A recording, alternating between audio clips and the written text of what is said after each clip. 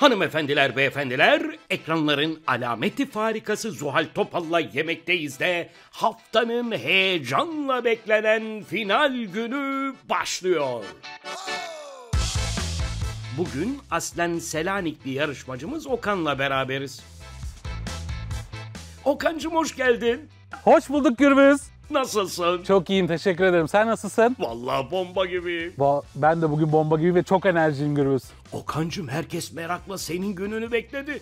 Bir haftadır ben farklıyım, ben özelim deyip durdun. Ben e, bir hafta boyunca söylediğim gibi gerçekten farklıyım ve çok özelim. Ve şimdi sana menümü de sayacağım. Çok özel bir menüyle geldim. Hepiniz şok olacaksınız. Bak yemekteyiz tarihinde bir ilk. Vallahi çok merak ediyorum. Ama önce seni biraz daha yakından tanıyalım. Hadi bize hikayeni anlat. Ben e, şu an Hollanda'da yaşıyorum ama aslen İzmirliyim. Bir iki, iki buçuk sene öncesi Hollanda'ya yerleştim. E, ondan öncesinde de aslında ben 12-13 yaşından beri yalnız yaşayan birisi. Bahsetmiştin. Enteresan bir hikayem var. Ben zaten Zuhal Hanım'a da bahsetmiştim e, masada hatırlayacaksındır sen de. Çok ünlü bir sanatçının peşinden gittim. Hayallerimi gerçekleştirdim, hedeflerime ulaştım. Sağ olsun o da bana kucak açtı ve bugün buralardayım. Ne mutlu sana. Peki Hollanda'da ne yapıyorsun? Hollanda'da kendime ait bir giyim firmam var. Hem takım elbise hem abiye üzerine. E, zaten birçok ünlü isminin de stylinglerini gerçekleştiriyorum. Herkesi giydiriyorum. Ben olmasam çıplaklar. Sen aynı zamanda sosyal medya fenomenisin. Aynı zamanda da influencer'ım. Yani diyorlar ya 10 parmağında 10 marifet diye. O söz benim için söylenmiş Gürbüz. Kaç takipçin var? Bugün itibariyle sayfamda tam 408 bin takipçim var Gürbüzcüğüm. Ee, ben sosyal medyada, sosyal platformda bir aileyi canlandırıyorum. Bir anne, bir kız ve bir baba. Anne de benim, kız da benim, baba da benim. Vay! Hepsinin tiplemeleri, karakterleri tamamen hepsi hepsini bana ait. Hepsine ben hayat veriyorum. 480 bin çok ciddi bir rakam. Evet, çok şükür çok seviyorlar beni. Beni sevmeyen ölsün. Takipçilerin için bunlar sahte, bunlar satın alınmış diyenler oluyor mu? Valla fake falan diyemezler çünkü Allah çok şükür milyonun altında izlenmem çok az Gürbüzcüğüm. 10 milyonlar, 20 milyonlar profesyonel panolarım zaten milyonlardan aşağıya inmiyor. O yüzden onu söylemek için geçerli bir dayanakları olması lazım. Okan'cım peki ne oldu da yarışmaya katılmaya karar verdin? Zaten çok yakından takip ettiğim bir yarışmaydı. Çok seviyordum. İçeriğini de merak ediyorum. Set ortamlarına e, alışkınım. Programı izlediğim zaman buradaki setteki o enerji ve samimiyeti hissettim. Dedim ki gidip görmeliyim. Bu sete dahil olmalıyım. Herkesle tanışmalıyım. Bir de seni çok merak ediyordum. Gerçekten bu sesin sahibi kimdi? ya çok teşekkür ederim. Okan'cım rakiplerini nasıl buldun? Rakiplerimi nasıl buldum hani demiştiler diye. Hangisi demişti unuttum şu an boş teneke diye. Kim demişti? Büşra Hakan'a söylemişti. Hakan Bey söylemişti. Ee, Büşra Hanım şu masa başladığından beri, bu hafta başladığından beri tek bir doğru kelime kullandı. O da boş teneke dedi. Hepsi boş teneke. Okan'cım iddialı mısın? Ben bugün iddia ediyorum Yemekteyiz programına altın harflerle ismimi yazdıracağım. Hatta bir tık daha ileri gidiyorum. Bütün Türkiye beni konuşacak bu menüyle Gürbüzcüğüm. Allah Allah. Neymiş bu menü söyle de öğrenelim. Hazır mısın? Hazırım. Hazır? Bütün Türkiye hazır mı menüye? Menüm geliyor. Kahvaltı menüsüyle karşınızdayım. Kahvaltı menüsü mü? Ya biz de ekipçe şaşkınlıktan alkışladık. Ya bir haftadır merakla beklediğimiz şey gerçekten kahvaltı menüsü mü? Evet gerçekten kahvaltı menüsü hazırladım çünkü neden? Kahvaltı bizim kültürümüzün en önemli öğünü Gürbüzcüğüm. En önemli öğünü. Bütün dünyayı gezmiş birisi olarak söylüyorum. Hiçbir dünyanın hiçbir yerinde bu kültüre hiç kimse sahip değil. Biz sahibiz. Neden tanıtmıyoruz? Neden sahip çıkmıyoruz? Neden göstermiyoruz insanlara bunu? Kahvaltı sadece sabahları yenen bir öğünde değil ayrıca.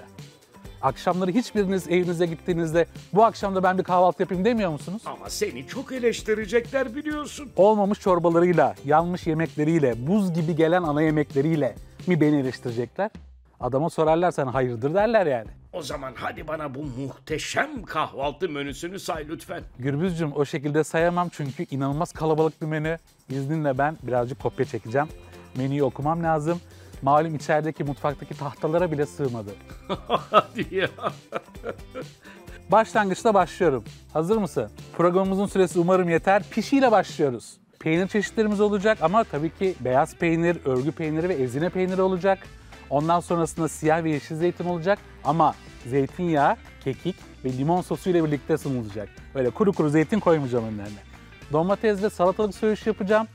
Ee, biber çeşitlerimiz olacak. Yeşil biber ve kırmızı biber söğüşleyeceğim. Bu da kahvaltıda en önemlilerinden bir tanesidir. Zaten kahvaltının olmazsa olmazları tereyağı, bal, vişne reçelimiz, çilek reçelimiz, balımız hepsi olacak kayısı reçelimizden incir reçelimize varıncaya kadar. Demleme çayımız olacak. Çay biliyorsun ki çok önemli. Çay ayrı bir kültürdür ve ellerimle portakal suyu sıkacağım. Ben daha size ne yapayım? Ne yapayım size? Hemen ondan sonra ara sıcaklara geçeceğiz. Tabii bunu yiyince doyacaklar ama yapacak bir şey yok. Ara sıcaklarımızda peynirli kalem böreği var. Hemen arkasından sucuk sote yapacağım. Sucuk soteden sonra da patates ve sosis kızartması yapacağım. Ana yemeğe geldiğimizde de Okan usulü, bu bana ait mantarları kızartılmış bir yumurta sunacağım. Herkese birer sahanda yapacağım bunu da. Bu da ayrı bir emek. 6 tane sahandan bahsediyoruz. Ondan sonra kaşık dökmesi yapacağız. Bu bazı yerlerde e, tuzlu krep diye de bilinebilir. Tam kahvaltılıktır. Çok güzel. Izgara hellim yapacağım. Yanında yeşillik salatası sunacağım. Tam o da böyle e, şeye çok özgü. Kahvaltıya çok uygun e, bir şey. E, içerisinde roka, dereotu ve lorolosu olacak. Tatlı var mı? Tatlı olarak da e, çikolata ve meyve dolgulu krep yapacağım. E, kreplerimizi yapacağız. İçerisine çikolatamızı süreceğiz. E, çileğimizi, muzumuzu, kivimizi yerleştireceğiz. Düreceğiz ve benmari usulü çikolata eriteceğiz. Üzerine dökeceğiz. Afiyetle yiyeceğiz. Son olarak da şimdi diyecekler ki Hollanda'dan geldin, Hollanda'dan bir şey getirmedin. Al sana Hollanda'nın kahvaltı kültürü. Hollanda'ya özgü tereyağlı kızarmış ekmek.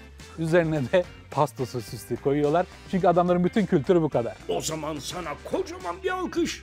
Teşekkür ederim. Bence hak ettim alkışı. Sağ olun. Vallahi ne yalan söyleyeyim çok heyecanlıyım. Masada neler olacağını da çok merak ediyorum. Menüme kendime ve hazırladığım şeylere o kadar güveniyorum ki beni nasıl karşıladıkları, ne söyledikleri zerre kadar umurumda değil. Çünkü ben inandığım, güvendiğim şeyi yapıyorum. O zaman markete gidelim mi? O zaman hadi markete gidelim bir sürü şey alacağız. Umarım bütçem yeter. Koş Okan koş. Menü baştan aşağı rezalet, fiyasko. Yemek yemeye geldik ama bol bol peynir, sosis, sucuk yiyeceğiz. Okan Bey'den kesinlikle beklediğim menü değil. Okan Bey'den çok antin kuntin şeyler bekliyordum ben. Hiç bilmediğimiz, adını dahi söyleyemeyeceğimiz, hatta yiyemeyeceğim bir menü bekliyordum. Menü nasıl? Yemekteyize gelmedik biz ya. Kahvaltıya geldik.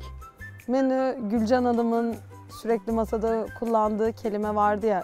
Sen şaka mısın? Okan Bey'e demek istediğim şey şaka mısın Okan Bey? Gerçekten bizi bu menüyle mi ağırlayacaksın?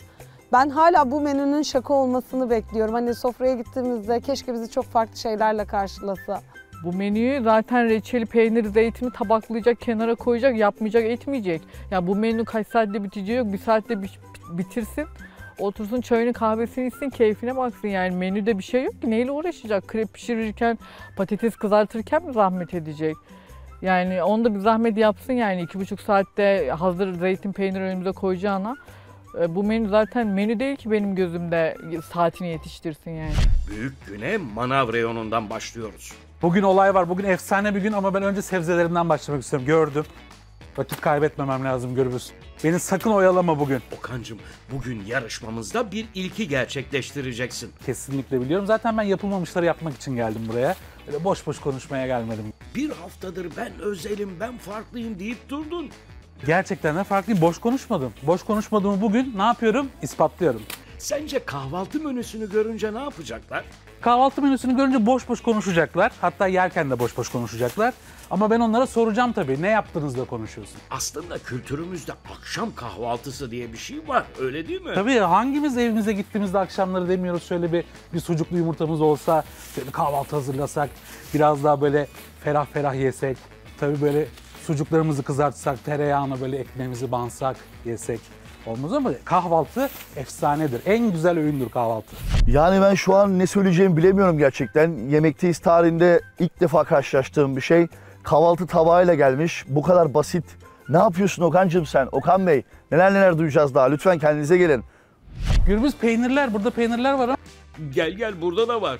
Esas peynir reyonu bu tarafta. Hazır yufka falan alacak mısın? hazır yufka tabii ki alacağım. Kalem böreği yapacağım. Kalem böreği neyle olur? Hazır yufkayla olur. Bak şurada da zeytinler var. İşte Şu zeytinlerin güzelliğine bakar mısınız ya? Şimdi sen buradan ne istiyorsan Nevin ablaya söyle, o sana yardımcı olur. Hoş geldiniz. Hoş bulduk, merhabalar. Sucuk olarak böyle çok kaliteli bir sucuk istiyorum. O kadar kaliteli olsun ki bir yiyen bir daha istesin, ikinciyi vermeyeceğim çünkü. Tamamdır. Bir kere ye, yeter sana diyeceğim. Başına da fazla, gözüne de fazla. Sosisini de arabasına atan yarışmacımız alışverişine zeytin tadımıyla devam ediyor. Nevin ablacığım bugün Okan kahvaltı menüsünde pişiler, sucuklar daha neler neler yapıyor bir bilsen. Tam benim istediğim yemek. Nevin abla sen de gel. Bol bol yapacağım zaten. Hepimize yeter. Tamam gelirim inşallah.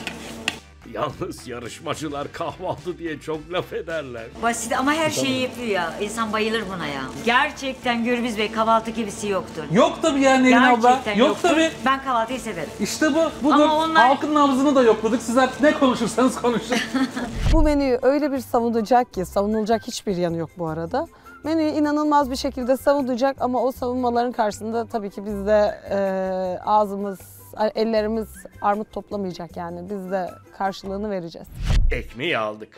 Simit kaç tane istiyorsun? Ee, herkes için birer tane düşündüm ama yiyeceklerini de düşünmüyorum. O yüzden bence üç tane yeterli. Hemen ikiye bölüp yarım yarım. Çünkü malum şeyler çok kibarcıklar ya böyle mıy mıy mıy mıy yapıyorlar. Nevin abla da senin gibi kahvaltıcı çıktı. Nevin abla evet bu benden bugün Nevin ablaya. Nevin abla puan verecek olsan kaç verirdin bana ya? Onun üzerinden 10 verirdim o Bak. bakışı. Ne, Arabaya biraz daha git. yüksek sesle kayda 10 gidelim. yüz- üzerinden 10 verirdim size. Biraz daha yüksek sesle. Teşekkür Sesim ederim. kapanacak yoksa. Simitlerimizi aldık. Nevin ablaya teşekkür ediyoruz.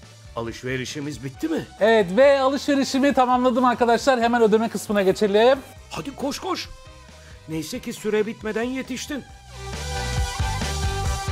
Ürünlerini kasadan geçiren yarışmacımız ödemesini yaparak alışverişini tamamlıyor. Evet ne kadar tuttu? 1807. Tamam, böyle vereyim ben. Neredeyse bütçeni bitirdin ya. Aa, Ben yetmeyecek diye düşündüm ama getirdik. Hadi torbalarını al da gidelim.